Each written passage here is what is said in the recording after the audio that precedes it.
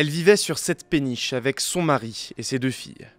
Quelques heures après la mort brutale de Joe Cox, ses proches et plusieurs enfants de la ville sont venus fleurir l'embarcation et saluer sa mémoire.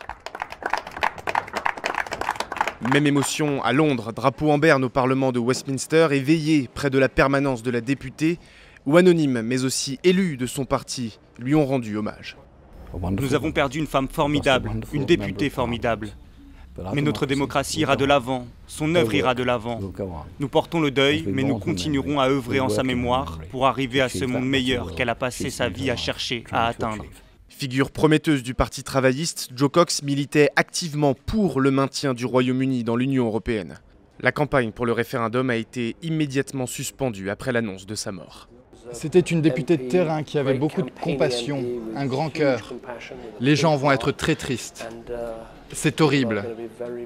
C'est une bonne chose que la campagne sur le référendum soit suspendue.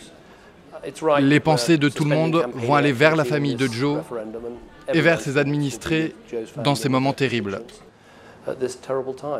À une semaine du vote, c'est donc dans un état de choc que le Royaume-Uni s'apprête à décider de son avenir.